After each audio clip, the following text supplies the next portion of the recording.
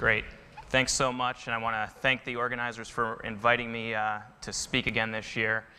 Um, I decided to title my talk uh, Personalized Medicine Humanity's Ultimate Big Data Challenge, and I did that not to fit as many buzz terms into one title as I possibly could, but to really frame the issue, and, and I think you've heard this throughout the, the last uh, two days, that this is fundamentally becoming a data challenge.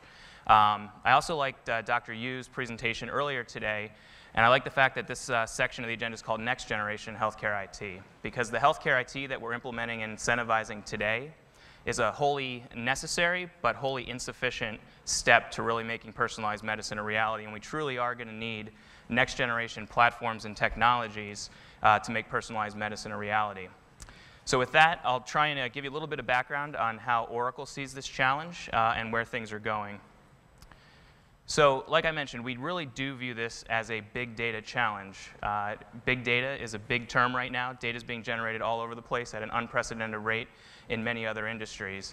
I would argue that this is humanity's ultimate big data challenge, though, because while it's great to target sales and retail and financial services uh, using big data algorithms, uh, getting this right for our healthcare system to keep innovation alive while addressing the cost quality challenges, I would argue, is fundamentally our biggest challenge and, and one that I'm proud that Oracle is, is starting to tackle.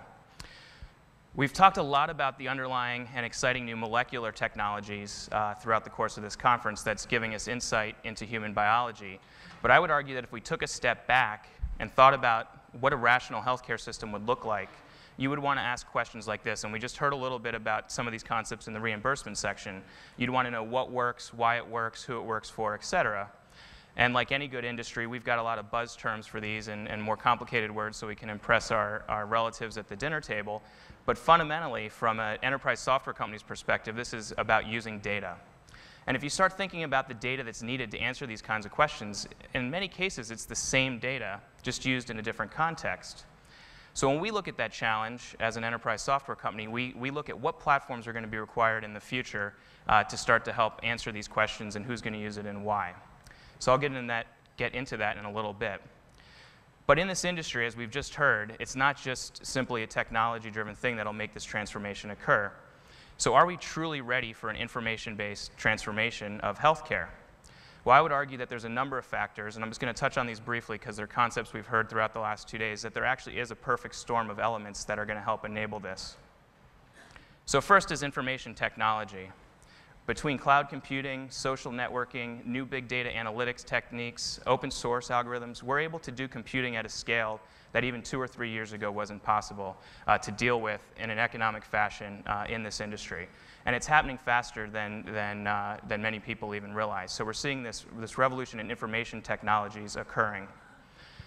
I, you guys know this is uh, better than we do. We're also seeing that revolution in, in biotechnology. I think some folks uh, used slides that showed how uh, the cost per megabase, and I think the speaker after me will probably refer to this, for doing sequencing is far outstripping Moore's law. So we're seeing this revolution in biotechnology and platform technologies that where cost is not going to be an inhibitor anymore to, to uh, generating this data. But those two things alone wouldn't be enough, I would argue, for really having this information based transformation. There's also tremendous business model pressures uh, on all players in the healthcare and life sciences ecosystem uh, payers, providers, PBMs, health plans, life sciences industry, et cetera that are going to force people to do things in a different way. I would even argue many of these companies are facing existential threats to their underlying business models uh, and are going to increase, and those pressures are going to continue. And then finally, we just finished the section on regulatory and, and reimbursement. Um, and I want to thank the organizers for uh, putting me after them. Um, but that's a challenging landscape, and I think one where data is going to play a fundamental role in keeping innovation alive while dealing with the regulatory and reimbursement challenges. So let's just look at this through the lens of one industry, and that's the global life sciences industry, which I know many of you in this room are a part of. Uh, this is a quote from the CEO of Roche uh, from uh, late December. Uh, but he argued that there's truly a perfect storm facing the life sciences industry, both from a regulatory perspective, from a, a reimbursement perspective, as well as from a shareholder perspective, looking at R&D productivity. And many of you who are in this industry know there's a lot of disruption and change going on uh, throughout the, the world's global biopharmaceutical companies. But one of the interesting conclusions that he reached in framing this, and people have been framing the challenge that the global life sciences industry is, is and is continuing to face for a long time, is that fundamentally, there's a new data paradigm and new uh, types of data exchange that need to start to occur across the different players. And he made a very compelling case that not only do we need to be doing clinical trials, but we need to start linking that with real world data. And as I'll talk about in a little bit, we're starting to see the leading indicators that this is actually starting to happen.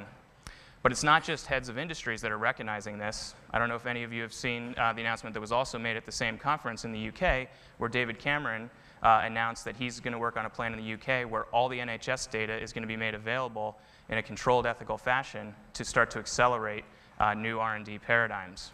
So heads of state are even recognizing this challenge and, and the role that it may play in keeping innovation alive going forward. So, what does this learning healthcare system look like? Uh, Dr. Yu earlier today framed his message around this notion of a rapid learning healthcare system. And I really like that mental framework for thinking about uh, the opportunity that we have in front of us with these next gen healthcare IT platforms. So, I mentioned at the, at the outset of my presentation that the EMRs we're adopting and other clinical systems that we're incenting are a necessary but wholly insufficient step. It's really the equivalent of get going digital for the first time. We're starting to get some insights and can start to use that data. But if we stop there, we'll have just brought some efficiencies to, to healthcare. If we really want to transform it and answer those hard questions I framed at the outset of my talk, we're going to have to go beyond that. And so this diagram, uh, uh, uh, I think, at a very conceptual level, captures where we need to go. So we not only need the longitudinal clinical transactional data captured in these systems, whether that be a research system, uh, an EMR, or other financial claim systems. But we need to be able to aggregate that and be able to pro uh, provide analytics on top of it to understand what's working for whom, why, and what context, and what cost. We then need to deploy new systems, both to the patient as well as physicians, to enable more collaborative care and push uh, better decision making uh, to where it matters most. Now, the good news is if we do this right, we can also use these platforms as knowledge generation platforms for supporting things like basic and translational research, uh, uh, supporting new paradigms of faster clinical trials, and we heard Dr. Dalton talk about that very eloquently yesterday, comparative effectiveness, et cetera.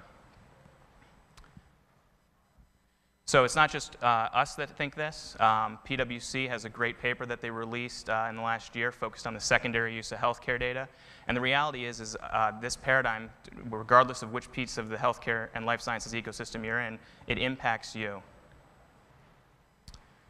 So what, what kinds of platforms are we going to need? Well, we heard a little bit in Dr. Yu's talk about the need for new health information exchange, interoperability, uh, and exchange of data, as well as new analytics technologies, as well as new computing paradigms, cloud computing, et cetera, uh, to begin to deal with the massive data volumes. So if we think about this in the context of those new platforms, if we do it right, like I mentioned earlier, it's largely the same data used in a different context. So some of the same data you need to support translational research, you can use to support clinical quality initiatives or new care management paradigms uh, and collaborations between the payers and providers. And then finally, we're already starting to see new research collaborations emerge, leveraging data generated in a real-world, quote-unquote, setting uh, with pharma uh, R&D initiatives. So getting to one level of granularity, what are those kinds of questions that you can answer at those hard, those hard questions? We would argue that what you really need to take is an integrated view approach. While the transactional systems, while the EMR are great, answering these hard questions, and if you think about the underlying data that you need to answer these kinds of questions, which are going to be the questions that lead to real change in healthcare, the data comes from multiple systems. So from an IT perspective, the challenge is taking data that was captured in one context for one use and making sure that it's now useful in a secondary use. It's a big IT challenge uh, on a number of fronts, but one that we think is, is, is manageable. So this is one of my favorite quotes from William Gibson. The future is already here. It's not evenly distributed yet. And uh, I want to give you some insight into some projects that we're involved with and some, some work that we're doing that hopefully will give you some uh, optimism that this actually could become a reality in the not too distant future. So uh, I personally and we at Oracle have been fortunate uh, over the last uh, two years to be working with a number of strategic development partners uh, uh, who are listed here on a new platform called the Translational Research Center, which really focuses on these data challenges of cleaning and normalizing and aggregating data from all these disparate systems. And then most recently, yesterday, we just announced our Omics Data Bank extension, which then pulls data from a variety of molecular profiling platforms. Um, great leaders in the space, some of which you've heard from today, including Dr. Brian, or in the last two days, including Dr. Brian Juker at OHSU and Bill Dalton yesterday from Moffitt. So let's drill down a little bit more into the kinds of use cases that we're able to enable leveraging these next generation platforms. So Bill gave you some great uh, insight into what Moffitt's doing. Um, just to recap, in case some of you weren't in that room, uh, almost 10 years ago, they, they started a new protocol called Total Cancer Care to collect data and get consent from patients uh, to collect their clinical as well as tissue samples over time to give you that longitudinal view of the patient and then recontact them, getting information about what happens once they leave Moffitt, as well as 17 uh, health systems that they collaborate. The kinds of use cases that we're enabling for them are these kinds of questions that are on, on the uh, slide right now. These are hard questions to answer without the right kind of interoperable analytics platforms uh, to, to drive these analyses. Typically, in the past, it would take a, what I call a bioinformatician days or weeks or months uh, to go answer a question like this, and it was a black box. The bioinformatician knew, bioinformatician knew what they were doing, but the, the clinician may not fully believe what they get back because they didn't understand the process. With the right platforms in place, you can answer these kinds of questions quickly and reliably and with the right data governance in a way that uh, the average clinician researcher will actually believe them and take action on it. And that enables new paradigm shifts in the way we do things.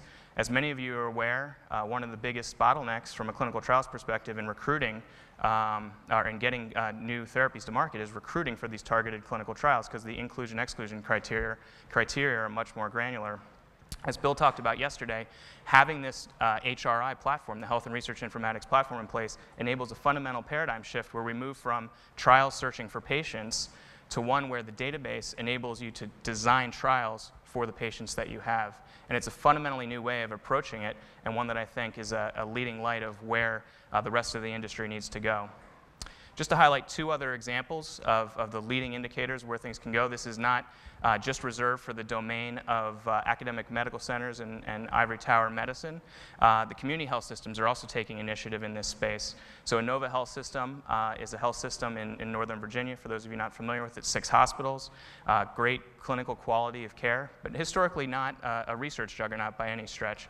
Dr. John Niederhuber, uh, former National Cancer Institute, direct, Institute director, uh, went there two years ago, and we've been working with him on a new project as part of his new institute called the uh, Inova Translational Medicine Institute, on a project where they're consenting uh, mother, fathers, and babies, triplets, and then doing whole genome sequencing on them to begin to drive insight from birth on into underlying causes of disease, premature birth, et cetera.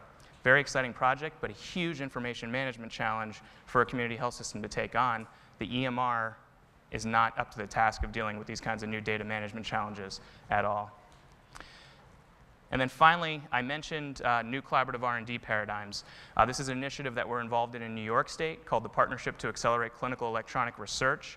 There's about 10 or 12 health systems in New York State, four or five pharma, uh, Quintiles is a CRO, and, and us at Oracle. And it's really to begin to leverage the wealth of data and the investments that these health systems have made as well as the investments that the state has made in their health information exchanges to begin to use that data for insights into uh, both discovery uh, among those pharma, but importantly, uh, protocol design and then ultimately recruitment um, for clinical trials in the state of New York. The politicians love it because it brings knowledge jobs to the state. The pharma companies love it because it addresses a need um, that uh, they otherwise would have trouble uh, dealing with. And the providers love it because it presents an opportunity to begin to get some return on investment for their investment in their healthcare IT technologies. So I'll end with this quote, and I think last year when I spoke, I began with this quote, and it's one of my favorites because I think uh, all of what we're talking about here uh, really, combined with the health information technology platforms I just talked about, give us the promise to bring this century old quote uh, to a reality, which I think, uh, in, with this audience, I think we'd all love to see. So, with that, with that I'll uh, say thank you, and uh, you can contact uh, us if you have any additional questions. I know there's not time for Q&A here. Thanks so much.